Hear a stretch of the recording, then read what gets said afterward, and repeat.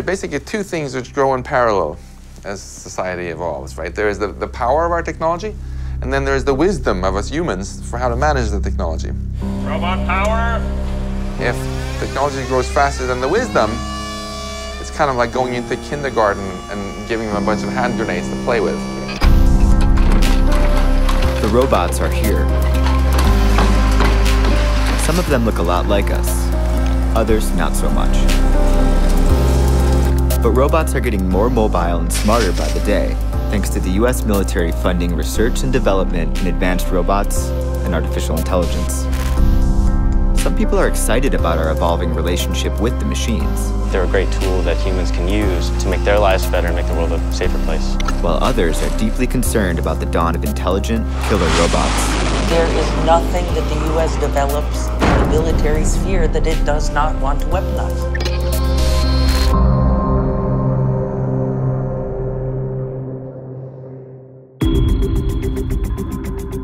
Virginia Tech, the uncanny valley of robotics. Due to its proximity to Washington, D.C., Virginia Tech has become an incubator for military R&D, and it's home to a handful of labs on the leading edge of robotics research. Our company's building a building right down the road there. So in the interim, we're leasing this garage space. My name is uh, David Conner. I'm a senior research scientist with TORC Robotics. Who's behind you? This is the Atlas robot that was developed by Boston Dynamics. Uh, it's an evolution from the Petman project a number of years ago. This robot was developed specifically for the DARPA Robotics Challenge. There are about seven of these in the world, uh, distributed to a number of teams competing, developing their own software to operate the robot, control it. Teams behind the country's top semi-autonomous ground robots have come together for some friendly competition. It's part of a multi-year contest hosted by the Defense Advanced Research Projects Agency, or DARPA, the Pentagon's Blue Sky Research Lab. This Atlas here is one of 11 robots competing in the finals this summer. Can it like grasp me or do something? No, no. It can't grasp me? Would it crush my bones? Yes. the, the general rule is you're not within 10 feet of the robot when the hydraulic pumps are on and it's under control. Oh man, that's heavy. Don't want this punching you. Wow. It's really heavy. There's sort of two side-looking cameras, a stereo camera pair. Uh, these are just lights, and then this is a laser rangefinder that spins around and gives you a point cloud of distances. And then that's what we communicate back to the operator. It sort of looks like a, a Terminator. Do you get that a lot? We get that a lot, but this is a nice, friendly humanoid rescue robot. It is a machine, and it will serve whatever purpose its human operators send it to. I've never stared into a robot's soul before now. It's a bit unsettling, and it leaves me with more than a few questions. What's the end goal? You know, what, what, what sort of tasks does it do? This robot was designed specifically to explore research topics in rescue robots. We want to have a system that you could send into a disaster zone, could make use of human tools. That's why it's more of a humanoid form factor. It could still probably hurt me though, right? You drove here in a machine that's more dangerous than this. And, and so it really is about the safety precautions we put in as we're operating it. And then it's ultimately to the purpose that someone will put it to.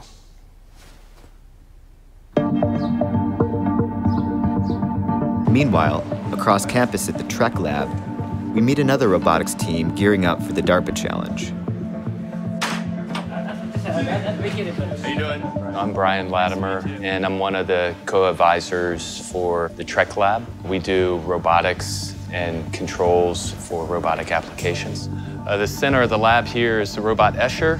We have uh, about 20 graduate students, uh, undergraduate students working on this robot in all different aspects.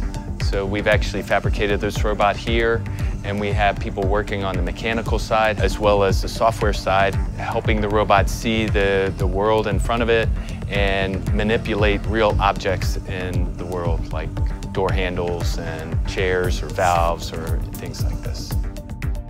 A lot of people do see this and they think of an artificially intelligent Terminator that's going to turn on everyone and bring about Skynet, and that's the end of humanity. The robot that we're developing is more like a C-3PO that is doing actions that we don't want people to be involved with. Brian Lattimer and the other Virginia Tech engineers competing in the DARPA Challenge have seemingly the best intentions. They're building tools they hope will help humanity. DARPA and Google owned Boston Dynamics, the company that manufactures Atlas robots, declined being interviewed on camera for this story. According to DARPA, Team Valor, which is developing all of the hardware and software for its Escher robot in house, has received roughly $3.5 million in DARPA funding since the beginning of the challenge in 2012. Teams like the one from TORC Robotics, which are developing just the software for their Atlas robots, have each received upwards of $2.5 million from DARPA since the challenge began. And depending how the finals play out, both of the Virginia Tech robot teams stand to win one of three cash prizes, and of course, prestige. But some critics are skeptical about DARPA's interest in robots like Atlas and Escher. This is part of the Nobel Prize. Oh, at the fancy dinner, these were on everybody's plate. Jody Williams won the Nobel Peace Prize in 1997 for her work in banning anti personnel landmines. Nowadays, she's taking that same fight to stopping killer robots. I support the ban on killer robots. Do you? Could you tell me about the campaign to stop killer robots? Sure. I was doing a piece on drones, the CIA, mercenaries, and the US military. And in the research, I came upon the fact that they were being called, for example, the Model T of future robotic weaponry. And I was, in all honesty, freaking out, you know, saying, I can't believe this. You know, where's the morality? Where are the ethics? Why do people think it is okay to create machines that on their own can target and kill? And I started pushing that we needed to bring together people we'd worked with on other campaigns and launch a campaign to stop killer robots. So we launched the campaign in London with a peaceful robot. His name is David Wreckham. Ban killer robots. Ban killer robots. I want to stress the campaign does not oppose robotics. It does not oppose artificial intelligence. It opposes putting all that together in machinery that can kill you by itself. She's talking about autonomous robots, which can make decisions on their own without humans in the loop. Those robots don't exist yet. But in her research, Jody has encountered bipedal robots like the ones we saw at Virginia Tech. And she's worried DARPA's grand plan is much more sinister than semi autonomous search and rescue. You know, when I saw Atlas, the only thing I could think of was when are they going to put, you know, machine guns or whatever they will ultimately decide to put on it. The line we kept getting is that these are service oriented robots. They're here to help humans. And then they will be helping humans kill. When they tell you that they will not be weaponizing them, I want to know what they're smoking. There is nothing that the US develops in the military sphere that it does not want to weaponize. But what about something like a bomb diffusing robot? The US military has been deploying explosive ordnance disposal robots by the thousands since the beginning of the Iraq War. They're the little brothers to Atlas and Escher, and they've saved the lives of countless soldiers and civilians.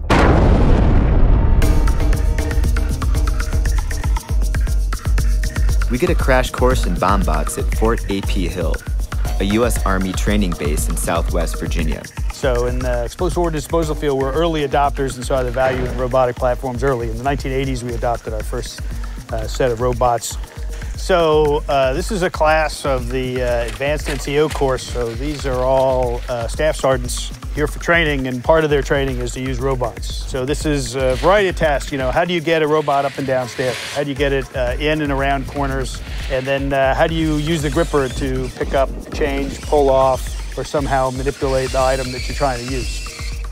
But not using Xbox controllers, right? Absolutely, yes. I don't don't claim credit for it, but it was one of those conversations that we had one time with field reps, and we said, "Hey, you know, we already have a whole class of young men and women that are uh, certified to use this. So wouldn't it be great if we could have a controller that did that?" And uh, so that is the controller that comes with that robot, because the soldiers are already well versed in using them. So apparently there's a robot over here that's opening a car door. The folks over here are operating it. Looks like it's right here. Colonel Bradley is actually saying this is like, as they've streamlined the technology over the past couple years, this particular bot, Talon, is sort of like their go-to for that. I can't tell if it's purposely coming at me. so you can see there's a mock explosive in here, and I think it's just about to pull it out. Success. You know, the soldiers be using these robots uh, every day.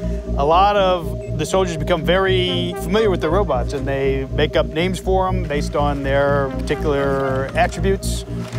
Or, uh, and sometimes those things will, uh, you know, will come up with nicknames. The soldiers do not think the robots are alive, but they also know that, you know, they're part of the, they're sort of part of the team as he brings you the cell phone.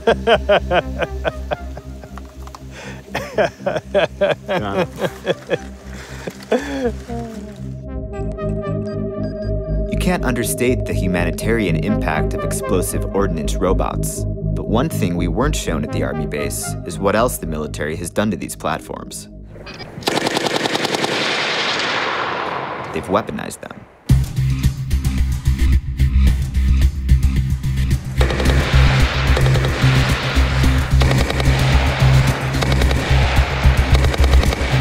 Why would the military weaponize a bomb disposal robot? because they can. That's an example of, you know, when they say to you, we won't weaponize the Atlas. Well, if they're weaponizing a robot that did do good service in disposing of bombs so US military will not die, wasn't that enough? Does this confirm Jody's fear that all military machines are inevitably outfitted to kill? you know, the drones just sort of spun themselves out. You know, they started out being surveillance equipment, and then somebody, you know, figured out that if you put a couple of Hellfire missiles on them, you could whack people. Drones are arguably the most recognizable and controversial of today's high tech military gear. To understand what happens when we weaponize semi autonomous machines like drones, we meet the Rahman family, the alleged victims of a drone strike in Pakistan.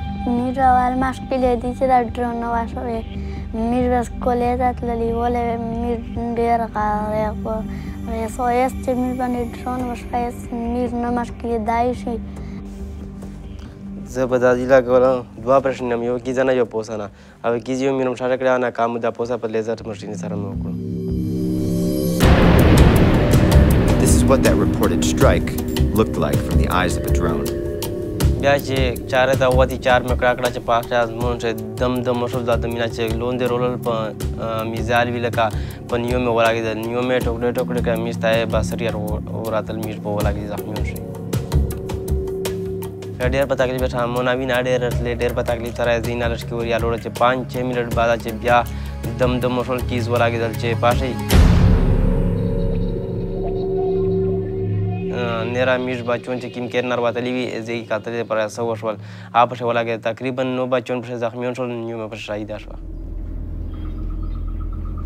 According to the Bureau of Investigative Journalism, drones have killed between 2,400 and 3,900 people in Pakistan since 2004. By the Bureau's tally, at least 400 of those victims were innocent civilians. Between 150 and 200 were children. چې اوباما تو په خپل فخر کې چې زه دهشتګر ولم نن دا میش وړو وړ کې وینه دا نبیله دهشتګر کې دای شي دا زبیر یا د میش میر د د چې کومه د مړه کړه د دهشتګر کې دای شي میش دته وی چې دا مهرباني وکړه دا جنگ بان کا ته چې خپل دشمن ولې به تو ته پچار دو چې د خلک ته قبایل ته تحفظ ورکا امریکا تر ورسوه Rafiq's belief that tension throughout the Middle East over the US drone program is being used by militants as a recruiting tool is shared by some of those on the other side of the computer screen. I mean, we're supposed to be this, uh, this shining beacon on the hill and all that, being the United States. You know, with this technology, I very sincerely believe that it's creating more enemies than it's solving any problems. And the precedents that we're setting is disastrous. Adam worked for a US military contractor. He monitored multiple live video feeds from drones flying over Iraq and Afghanistan. I'm not necessarily proud of, you know, my participation in the drone program. Eight hours a day, seven days a week. I would sit in front of monitors and monitor up to 16 drone feeds at once, and I would report significant activity. But all we could see, you know, from where our vantage point, and that's all that the approving authority could see, was heat signatures that were suspicious or were running around or whatever. And then it would take them out, sometimes hitting the target, sometimes not. Sometimes, you know, taking out a, a quarter of a city block. In Afghanistan, you can have a suspected Taliban meeting spot. A drone will observe it, see this suspected meeting is taking place. It may not be a meeting, it may just be a freaking potluck. Hellfire is launched, takes, takes out, you know, 20, 30 people in that, in that village. You could take out a whole generation, you know, in that small village. And then think about those adults or those people that are left remaining and what would their opinion of the United States be? Reciprocity in war is something that we never think about. If you attack somebody in theory, they sh- should have the means of responding. A drone makes that impossible. Nobody can surrender. Why do you think all of the terrorist organizations are having no trouble recruiting? Understandably. And we're not even supposed to say that, right? We're not supposed to understand why people in Pakistan might hate US drones, and by extension, the country that is using them. But others, like Christine Fair, a military affairs expert at Georgetown, think we have no option but to use drones in modern warfare. I know people who live in, in South and North Waziristan who are incredibly pro drone. In fact, they are so pro drone that they call drones ababil, so in the Quran, um, there's a surah called Surah Al Fil, which means the elephant passage. And in this passage, the Quran describes an invader who brought an army of elephants to attack the Kaaba in Mecca. And the ababil are these little swallows that dropped black stones upon the elephants to repel them. Because they say drones are the only things that are taking out the terrorists, that their options are to do nothing or when the Pakistani military feels like it, to come in and conduct gross airstrikes, which have displaced millions of people. So there's, there's a cost to not doing drone strikes as well. To me, the opposition to the drones, it's a very dangerous form of Ludditism for which I have very little tolerance, just focusing on the military aspects of removing a target. This is the most humane way because if you, if you fire a missile from an F 16, from a helicopter gunship, from an AC 130, you take out cities, you take out villages, you take out wedding parties. Now, every once in a while, a kid will run into a frame. There's nothing you can do about that. But the question then has to be asked since we can do this with a drone, why is it humane to use any other weapon system? The desire to ignore blowback, you know, from the drones is ridiculous. And when we move beyond that to fully autonomous killers that can go out on their own and fly around for however long they can fly around and target things, how, how would you feel? The X 47B, which is a high tech plane that can take off and land on its own, was unveiled and test flown. At the discussions in Geneva, though, they were talking about it that at this point it would not be used in a fully autonomous fashion because of the pressure and the directive from the military saying that they cannot develop fully autonomous weapons. If the inevitable happens, then of course that thing will be used fully autonomously.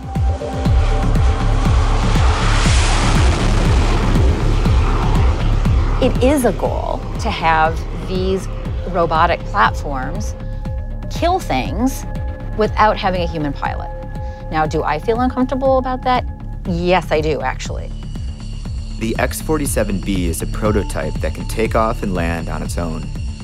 So while it won't ever fly missions independently, it is representative of a new era of autonomy in military robotics. When we talk about that, that precedent that the that mm-hmm. drone seems to have set, you know, how is that going to shape the future of Atlas or, or Escher, are they going to be going the way of the drone, so to speak? I believe so. Some people will argue no, um, but I think they're obfuscating. Back at Virginia Tech, it's finally time to see those controversial machines doing their thing. Robot power! This six foot tall, 330 pound bipedal humanoid robot is about ready to take a walk.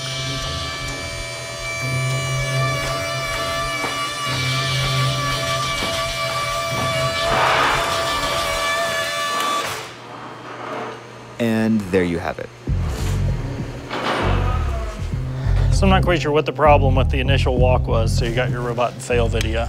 Um, it's really cool when it works, and it's frustrating when you have issues. But it worked in the practice this morning. We'll get it to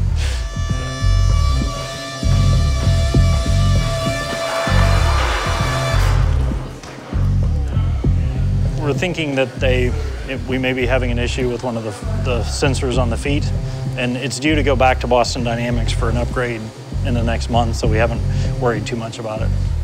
Robot power!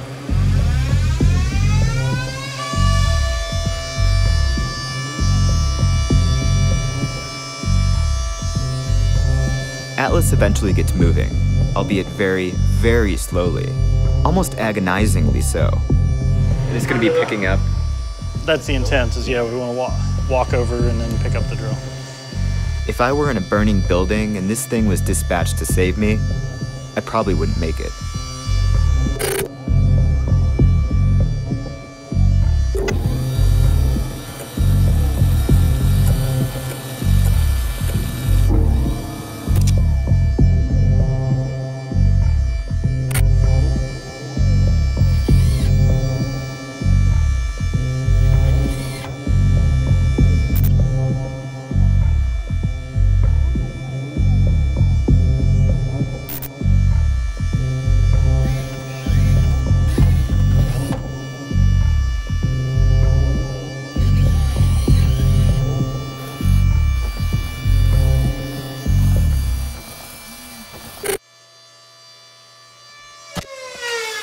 It can't be argued that Atlas failed the drill test, a task it will have to perform at the DARPA Challenge.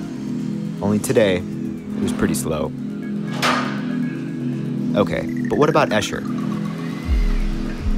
I have to say, first contact with Escher, aka Thor, is pretty thrilling. So, what's the coolest trick this robot can do? Uh, some of the neat things that we can make it do are stand up on one foot and push it around. And what's neat about this is uh, Thor right now is basically moving around as if his eyes are shut. But Thor's reaction time is so quick that he's able to stay standing. And he's also using his whole body controller, uh, and the whole body controller keeps him to count everything the arms, the legs, all the ligaments, where all of his uh, moments of inertia are. Is that too hard? That was a little bit too hard. I think I hit it a little too hard. Escher manages some impressive stuff. We try to make the robot be able to do things that humans can do, like stepping up on blocks or stepping on rubble, having that rubble shift underneath his feet. And if the ro- if people are able to do it, we should be able to make our robot be able to do it as well. Um, and so that's what we've been doing as we test. And since it graced the pebble bed so easily, we decide to put something a bit more real world in its path.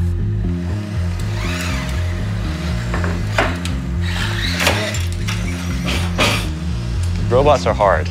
Robots are very hard, but some of the hardest things to do are test to show where it fails and then fix those failures so that it won't fail again. Because we have a lot of successes with it, but then there are also a lot of hidden bugs, you know, in the system, and we want to make sure that those don't arise when it really needs to matter the most. We're designing this to help uh, in situations like the Fukushima disaster. We'd be totally happy if the robot was able to understand, hey, there's this disaster, and I am a tool that can help these humans not get hurt. Escher is perhaps slightly more graceful than Atlas, but it's still not like this thing is going to run you down and kill you. In the time since we wrapped shooting at Virginia Tech, Escher underwent considerable hardware and software upgrades, including better artificial intelligence. And the same goes for Atlas.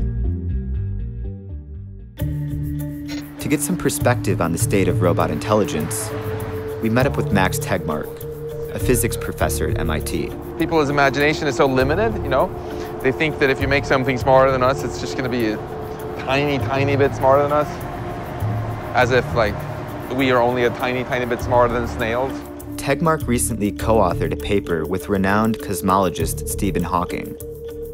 Their op ed didn't say AI is inherently bad, but Hawking and Tegmark warned of a possible doomsday scenario if we don't start putting regulations on AI right now.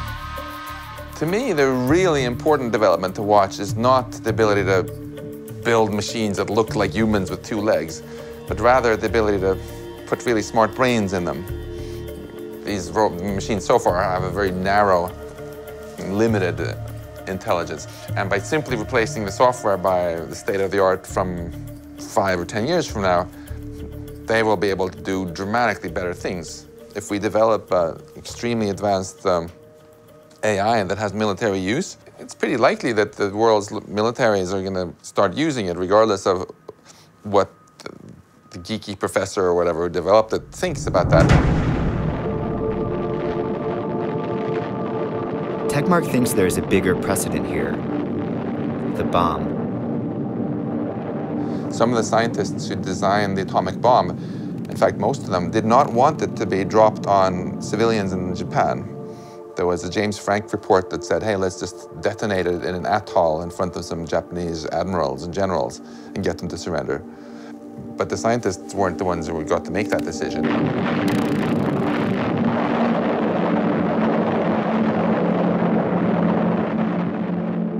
So, could robotics be heading down the same path if we're not careful enough? There are basically two things which grow in parallel as society evolves, right? There is the, the power of our technology, and then there is the wisdom of us humans for how to manage the technology. If the technology grows faster than the wisdom, it's kind of like going into kindergarten and giving them a bunch of hand grenades to play with. We have no clue what would happen if we were to ever succeed in making machines that are much smarter than us. If people tell me, oh, I know exactly what's going to happen and it's going to be great, I would take that with a grain of salt. For Jody, there's nothing about the march of robotics that should be taken with a grain of salt. The United States has never met anything in its military arsenal that it did not want to weaponize.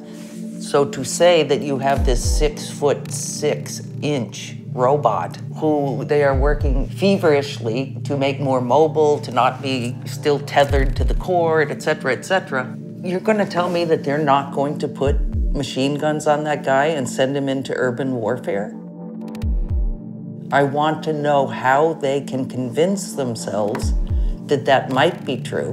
And when I'm in a really bad mood, I want to know why they'll look you in the face and lie.